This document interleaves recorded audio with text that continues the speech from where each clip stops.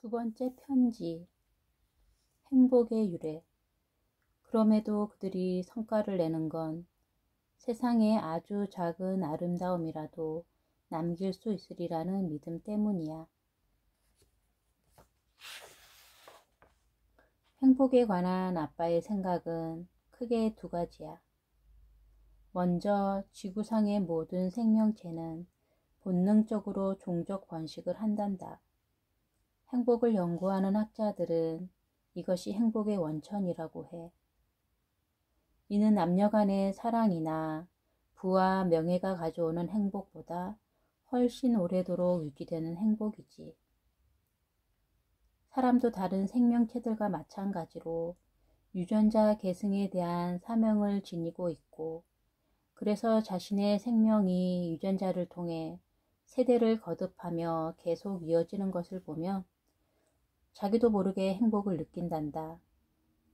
그러나 이런 행복은 어느 동물이나 느끼는 것이고 사람은 더 높은 차원의 행복을 추구해. 그것은 바로 자신의 존재와 행위를 통해 이 세상에 발자취를 남길 때의 행복이야. 우리는 자기 말이나 행동이 세상에 긍정적인 영향을 주었다는 사실을 알게 되었을 때 진정한 즐거움을 느낄 수 있어. 인생은 한 줄기 강과 같단다. 강물의 양은 강의 길이와 너비, 그리고 길이라는 세 가지 요소로 결정돼. 한 사람의 영향력도와 마찬가지란다. 현재 많은 사람에게 큰 영향을 미친다고 해도 오래도록 영향력 있는 사람으로 남는다는 보장이 없고 긴 강줄기처럼 미미하지만 오랫동안 영향력을 발휘하는 사람도 있단다. 둘 중 어떤 강의 물이 더 많은지는 정확히 알 수 없지만 나는 후자의 강을 더 선호한단다. 아무리 오랜 시간이 흘러도 끊이지 않고 굽이굽이 흘러가기 때문이야. 모차르트는 이미 두 세기 전에 세상을 떠났지만 여전히 세계 곳곳에 많은 사람들이 그의 고향인 찰스부르크를 찾는단다. 베토벤, 미켈란젤로, 뉴턴도 마찬가지야. 모든 사람이 생전에 자신이 이룬 업적의 영향력을 확인할 수 있는 건 아니야.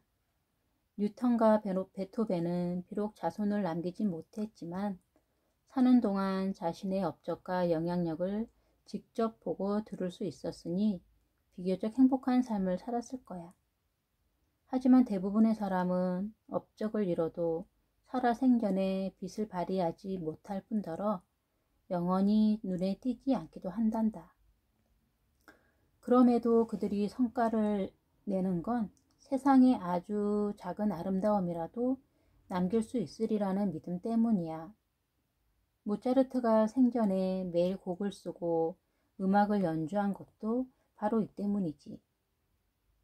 그는 자신이 후대에 위대한 음악가라는 칭호를 받을 줄도 몰랐고 그러한 칭호를 중요하게 생각하지도 않았어.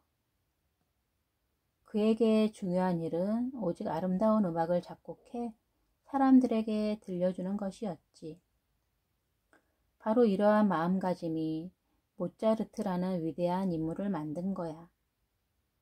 지난번에 왜 미국인들은 부자가 아닌 사람들도 대학에 많은 돈을 기부하냐고 물었지?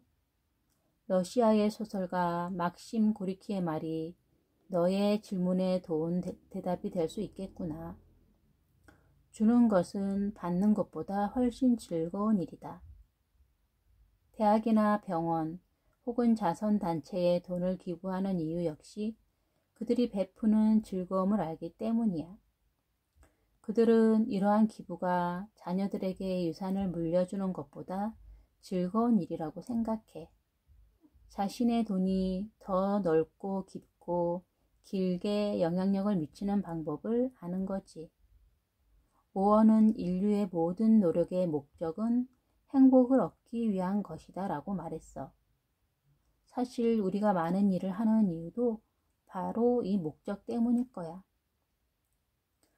아빠는 내가 무슨 일을 하든 행복이 삶의 이유이자 목적임을 잃지 말았으면 해. 너의 행복을 빌며 아빠로부터